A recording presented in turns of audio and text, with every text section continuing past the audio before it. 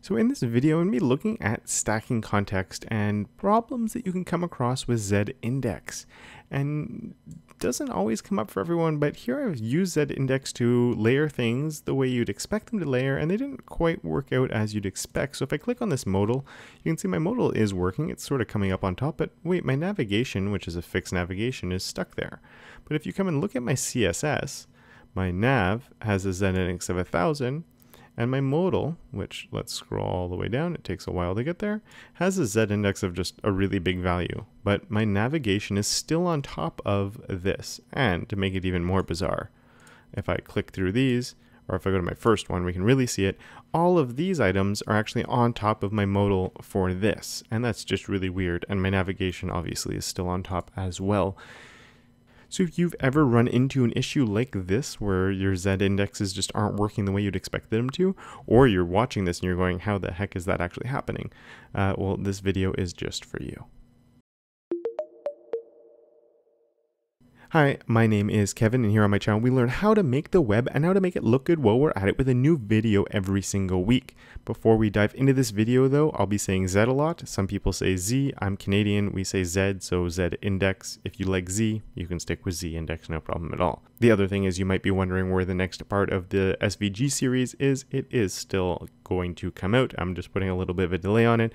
I haven't had as much time to work on it as I'd like um, because I've been on vacation. So this is something that I'd sort of prepared a long time ago, but never actually used because I didn't know what to do for the last example, but now I got that figured out. So I'm going to do this for now. Once my vacation's done, we'll continue on with the SVG series once I can properly um, sink some real time into it and prepare it the way I'd like to. Uh, if you don't know what I'm talking about, the SVG series, if you have any interest in SVGs, I'd encourage you to check that out. With all that out of the way, CSS stacking context. What is it and what's the deal with it? And it's something that not many people know about, but it's really important when it comes to understanding the whole Z-index thing.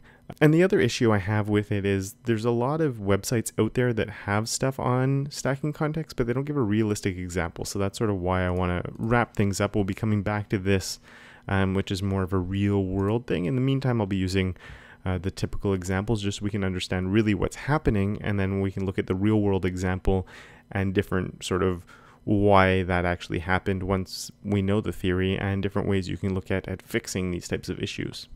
So CSS stacking context is what controls the order that things will stack on top of one another.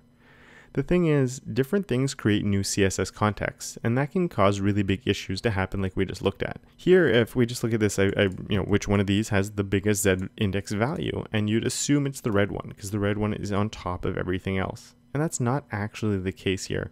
Um, so if we look at my HTML uh, up here, let's, I'll reveal that to you now. We have uh, box 1, box 2, and box 3. And box 3, which is the purple one, is actually the one with the highest z-index value. So if we go and look at that, box 3 has a z-index of 100, 2 has a z-index of 1, and box 1 only has a z-index of 2. So the whole idea of z-index is it's sort of like layering. And I'm assuming you, you sort of understand a little bit of what that is. So here if I take my 2 and I make that 3, it gives it a higher layer. So my box 2, which is the green one, goes on top. And my box 3 is inside of that, so it's layering on top of that one, and also its z-index is really big. Um, so it's sitting on top of my green one there. Um, I'm going to take box 3 here and move it outside of box 2, so we just have each one on its own. And now it's going to behave, uh, and of course that's just on my box 3 here. I'm going to change my margin top from a positive to a negative, just so it's on top. Um, and now it's going to behave a little bit more like how you'd expect it to. Um, let's put this back to a 1. So you have the green one has the lowest z-index value, so it's all the way in the back. The next one, box 1, has the z-index of 2, so it's coming up on the next level. And then I have my z-index of 100, so that's coming up all the way on top of everything else.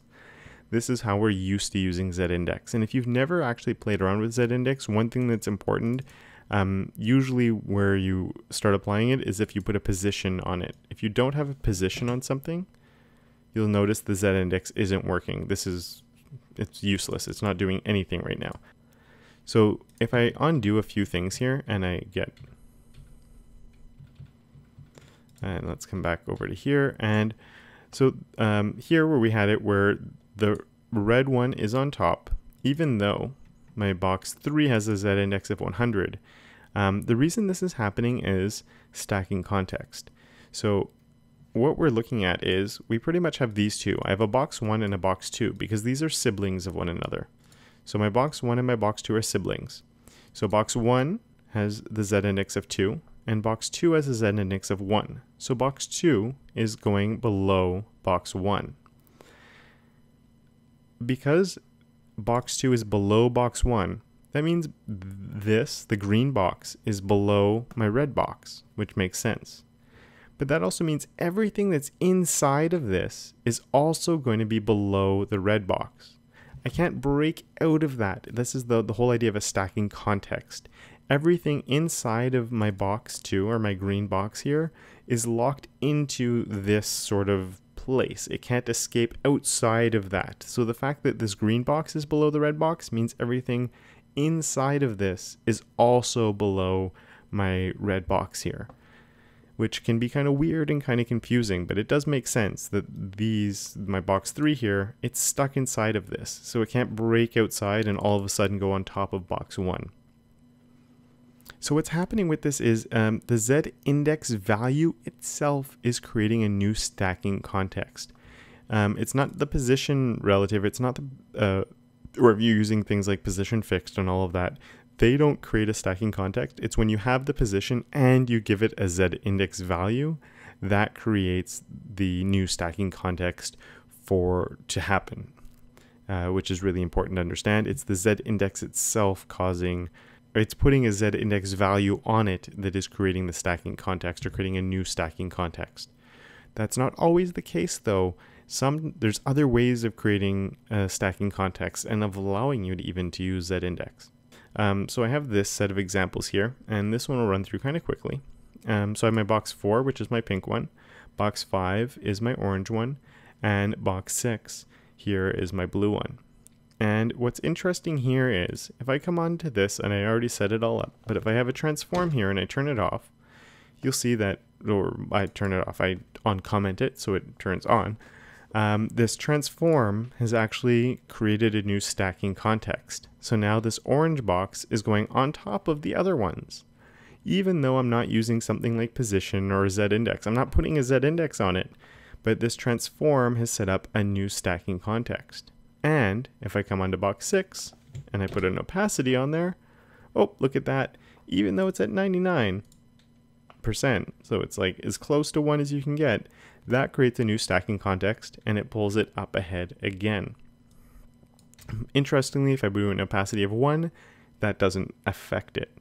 The opacity of 1 doesn't do anything. It has to be any value lower than 1 uh, for it to actually have an effect, which is kind of weird in itself. Um, but you can see that now that the blue box is actually on top of that one. Um, and if I come onto this and I do Z index, um, my z-index works. So it's not just the position properties, position relative, position absolute, position fixed. It's as soon as you apply a new, uh, a new stacking context to something that z-index can now be applied there are a whole bunch of different things that create new stacking contexts. I'm not going to run through all of them because many of them you probably haven't even heard of, but I'm going to link to the MDN article down below where you can get the full list of things that do actually create it. The ones that you will know though are the position absolute, relative, fixed, and sticky, um, as well as uh, if you're using Flexbox at all, when you apply Flexbox, you can control the z-index of the children of the, the parent element, so that creates new stacking contexts. The opacity, like we just saw, as well as the transform, like we just saw. As I said, there's a bunch of other ones as well, so if you want to see what those are, you can check out the link below. Um, so the realistic example and what I really want to get to is this one because it's not something that you run into on a regular basis, but it is quite possibly something that you run into. Now I have gone a little bit above and beyond and made this a little bit contrived just to make it work to the extreme a little bit, which is why if I click on this first one, all the other ones are still on top of it, which is really, really weird. Um, um, and I've also made a mistake here with my modal, So the fact that I can open a whole bunch of modals and because I could now I can't click on these ones but um, because as I'm going through these, the fact that I can, these are on top of my other modal, I can just sort of keep layering all my modals on top of each other, which is terrible. Um, so it creates a lot of problems. And I'm not saying you will run into this, but I think this is, it has a few possibilities of things that you might do. Uh, so let's check what they are.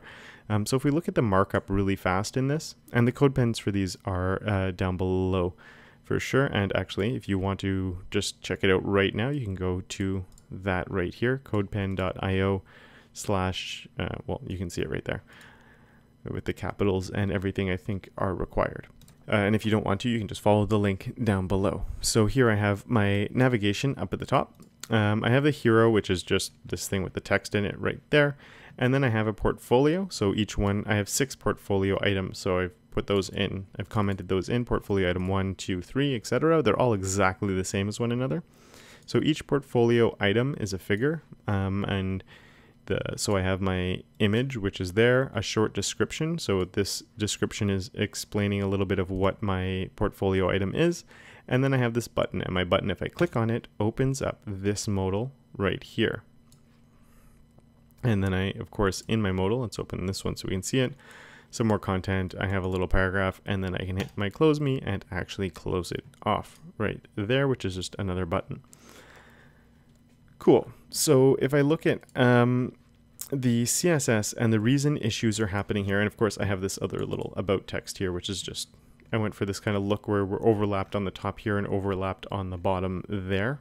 Um, and that was very much on purpose to get everything in here working. Um, so for my navigation, I very purposefully set this to a position fixed. Um, so here I did position fixed and I gave it a pretty big Z index of 1000 because I want it to be on top of everything on my site. So a lot of time what you do is you just give it a really big Z index value. So as I'm scrolling, that's staying on top of everything else on my page, which is exactly what I want and why I'm giving this the large Z index. Now, when I come through and look at the rest of this, let's go find my portfolio. Um, what I've done is I've given my portfolios items, which is each one of these items here. That's one item, two item, three item, four item. I've given a position of relative and a z index of one. And the reason I gave these a z index of one is because I sort of did a bad idea down here on the bottom, um, which is my about. And to get my about underneath here is I used a transform on it to sort of pull it upwards um, which is a totally valid idea, except it would potentially cause some issues lower down if I had more content. Um, so just to show you, if I didn't put that Z index on there, what would happen is, well, this is on top of that stuff, which is no good, right? That's going to cause a major issue. So that happened. So I'm like, oh man, I need to put a Z index on there. And that pulled all of this in front. Now the problem with this having a Z index on it is this is what's causing all of the issues here, pretty much. Um, as soon as I gave this Z index on here, it created the new stacking context, and that's why this is on top of uh, this stuff here. Because if I look down, my modal itself has that gigantic Z index. So this should be on top of everything. It should just be like, whoop, it's going all, all the way up. But um, as soon as I gave this a z-index of 1, this gave it a new stacking context. All of my modals are inside of each item. So this item is below my navigation because my navigation has a z-index of 1000. So no matter what I do, the children of this item can never be on top of that anymore because this item is below this. So it could have literally a z index of infinity as a child, it's never going to get on top of uh, this right here. If I turn this z index off, this obviously pops back on top here, but now if I click on that, at least my modal is on top of everything else. So you can see my modal is coming and actually covering everything and it's working the way I'd want it to. The problem is coming from uh, this big issue right there. Um, one thing that it doesn't solve the issue completely, but it probably be a better option would be for the if you're going to have to position relative and a Z index potentially on the portfolio itself instead of having it on the portfolio item. Now what that would fix is at least now I can click on these and you can see that it's working much, much, much better. And it's still on top of this because I've taken, let's just shrink all of these down so we can see things a little easier. Okay, so I've taken my portfolio item.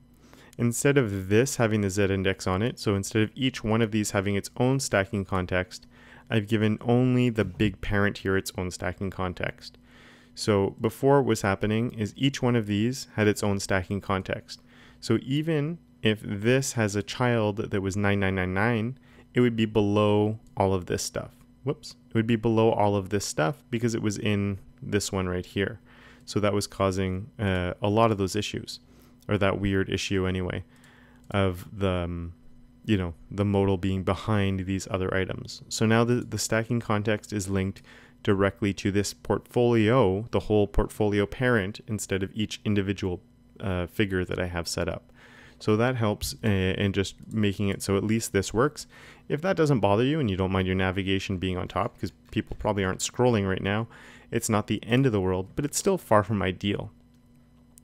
So really, uh, what we need to do in this case, if ever you ran into a situation like this, is you'd probably want to actually just find a way to, a different way of doing what I did there. Um, so let's take this Z index off, because again, that, that's an issue. But at least now when I open it, it's covering everything like I'd want to do. I'd want to click on that and then it covers the entire screen.